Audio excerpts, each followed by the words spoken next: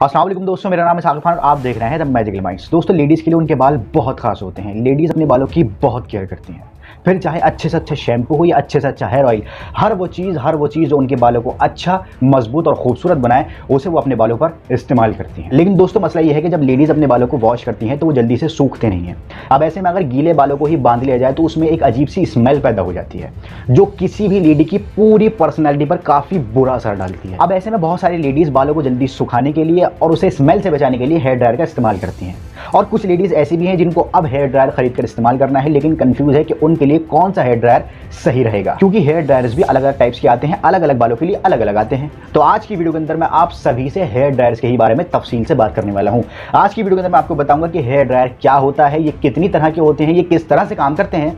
और अगर आप अपने लिए कोई हेयर ड्रायर खरीदने के बारे में सोच रही हैं या रहे हैं तो आपको किन किन बातों का ख्याल रखना चाहिए। तो बने रहिए इस वीडियो के साथ, एंड तक अब मैं आपसे बात करता हूँ हेयर ड्रायर्स के बारे में। बेसिकली एक बाइंग गाइड वीडियो है तो इसको एंड तक पूरा ज़रूर देख लेना। इंशाल्लाह इस वीडियो के एंड तक आपको समझ में आ जाएगा कि आपके बालों के लिए कौन सा हेयर ड्रायर सही रहेगा। तो देखो इस वीडियो को एंड तक। वीडियो शुरू करने से पहले मैं आपको एक बात और बता दूँ कि इस वीडियो को बनाने से पहले मैंने एक वीडियो और बनाई थी, जिसमें मैंने हेयर स्ट्रेटनर्स के बारे में बात करी थी। जी हाँ इस वीडियो के अंदर मैंने आपको तफसील से बताया था कि हेयर स्ट्रेटनर्स कितने टाइप्स के होते हैं, ये किस तरह से काम करते हैं, और आपके लिए कौन सा हेयर स्ट्रेटनर सही रहेगा। ये भी एक बाइंग गाइड वीडियो थी। इस वीडियो को बहुत लोगों ने पसंद किया, बहुत फ़ायदा हुआ, इस वीडियो से बहुत सारे लोगों का फ़ायदा हुआ, और इस वीडियो को देख के बहुत सारी लेडीज़ ने अपने लिए हेयर स्ट्रेटर खरीदा और उसे इस्तेमाल किया।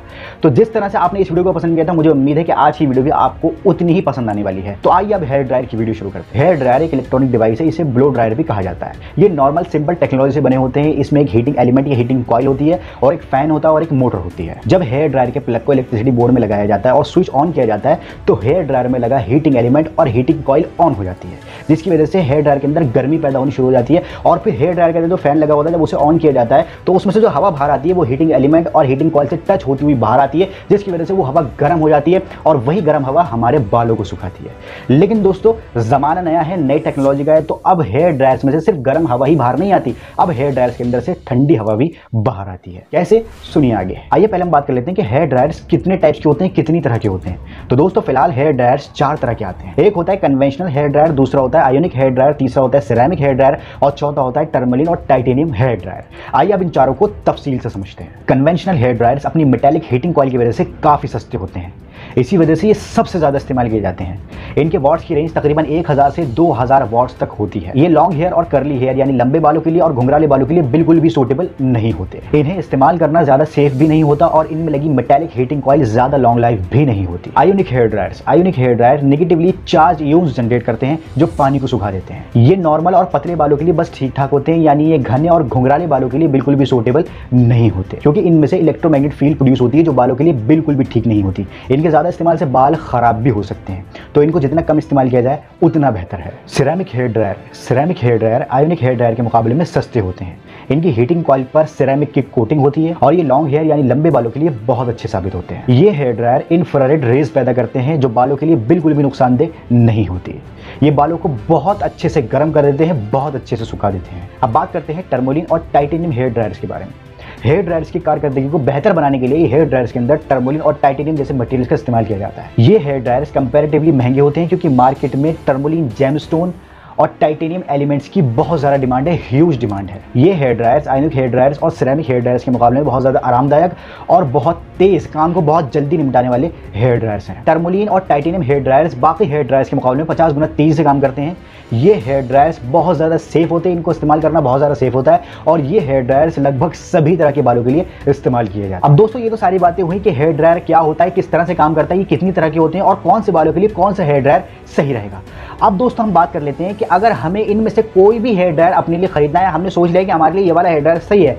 तो हमें अब किन किन बातों का ख्याल रखना चाहिए किसी भी तरह का हेयर ड्रायर खरीदते वक्त। तो आइए अब इन सारी बातों को डिस्कस कर लेते हैं। पहले बात करते हैं वॉट के बारे में।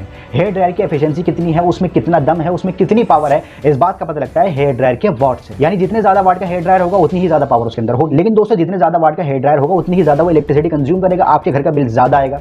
तो दोस्तों, मैं आपको रिकमेंड करूँगा कि आप एक हज़ार से लेकर दो वाट वाले हेयर ड्रायर ही खरीद कर इस्तेमाल करें। ज़्यादा वाट वालों के चक्कर में बिल्कुल भी नहीं पड़े। लेकिन फिर भी अगर आपका दिल है, आप चाहते हैं इस्तेमाल करना तो आप खरीद कर इस्तेमाल कर सकते हैं। कोई परेशानी इंशाल्लाह नहीं होगी, थोड़ा सा बिल ज़्यादा आएगा, ज़्यादा हैवी होंगे पावर ज़्यादा होगी, बाल बहुत जल्दी सुखा देंगे। लेकिन दोस्तों, क्योंकि पावर ज़्यादा है वॉट ज़्यादा है तो उनका इस्तेमाल सही से ध्यान से करना पड़ेगा, क्योंकि उनकी हीटिंग भी बहुत ज़्यादा होगी, कहीं बालों को नुकसान ना पहुँचा दे। वॉट का ख्याल करना बहुत ज़्यादा ज़रूरी है, किसी भी हेयर ड्रायर को खरीदते वक्त। दूसरी बात हेयर ड्रायर का वज़न। अब जो भी हेयर ड्रायर आप खरीद रहे हैं, उसका वज़न कितना है, इस बात का भी आपको खास ख्याल होना चाहिए।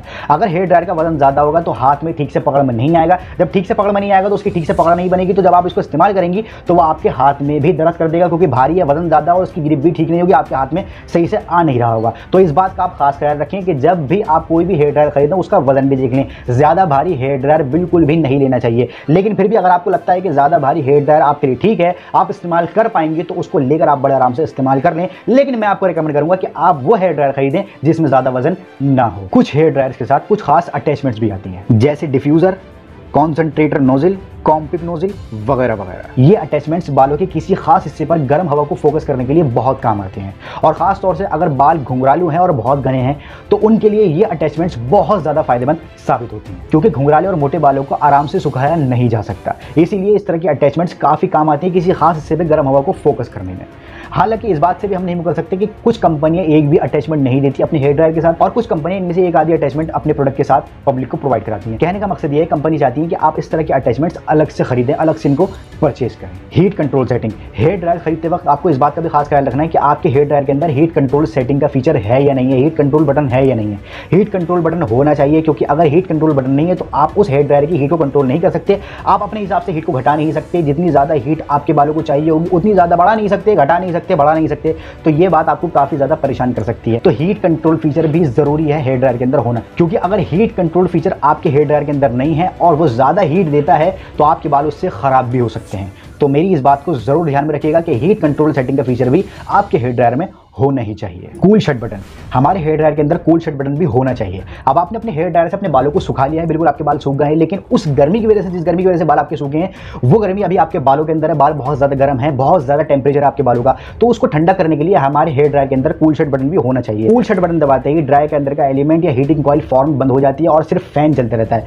फ़ैन सिर्फ़ चलेगा तो ज़ाहिर सी बात अंदर से अब गर्म हवा नहीं, ठंडी हवा आएगी तो वो ठंडी हवा आपके बालों के टेम्परेचर को कम करेगी, ठंडा करेगी। तो इस बात का आप खास ख्याल रखिएगा कि कूल शट बटन भी आपके हेयर ड्रायर के अंदर होना चाहिए। बहुत ज़्यादा ज़रूरी है। पावर कॉर्ड हेयर ड्रायर की पावर कॉर्ड लंबी ही होनी चाहिए, छोटी नहीं होनी चाहिए। जितनी ज़्यादा लंबी पावर कॉर्ड होगी, हमारे हेयर ड्रायर की उतनी ही ज़्यादा हमें आसानी होगी उसे इस्तेमाल करने में। अब ये सारी चीज़ें एक अच्छा ब्रांड ही दे सकता है। हमें किस ब्रांड का हेयर ड्रायर खरीदना चाहिए ताकि हमको काफ़ी ज़्यादा फ़ायदा मिले हेयर ड्रायर की क्वालिटी भी अच्छी हो और हमें साथ साथ में वारंटी भी मिले कि उसमें खुदा ना खासा अगर कोई खराबी आ जाती है तो हम उसे ठीक करा लें। हमें किसी भी तरह की कोई परेशानी ना हो। लोकल के चक्कर में हमें बिल्कुल भी नहीं पड़ना है। हम यहाँ पर बात कर रहे हैं ब्रांड की, क्योंकि हमें अच्छी चीज़ अपने घर लेके आनी है, पैसा खर्च करना है, मेहनत का पैसा है हमारा। तो दोस्तों, मैं आपको एक चार्ट की मदद से कुछ ऐसे ब्रांड्स के नाम बता रहा हूँ, जिनका आप अगर हेयर ड्रायर खरीदेंगे तो यकीन मानिए आपको कभी भी इंशाल्लाह किसी भी तरह की कोई भी परेशानी नहीं आएगी। वो ब्रांड्स हैं ये।